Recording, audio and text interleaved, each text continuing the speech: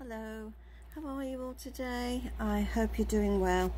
I'm behind the camera today because I wanted to give you a little close-up of my essential oil pendant and um, as you can see uh, I, what I wanted to do was make a vine that was going up like a garden trellis and um, it's a little bit of nature if you like and then I here's a, a little um, it's supposed to be a tulip.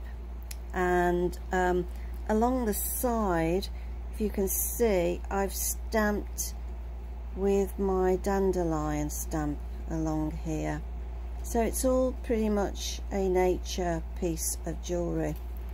And then on the back is where I've left it open and you would be able to put your um, your piece of fabric that you've obviously uh, infused with your favourite oil. I use all different ones to whichever mood I'm in. I pretty much like to have uh, anything for anxiety as uh, I do tend to get anxious about things.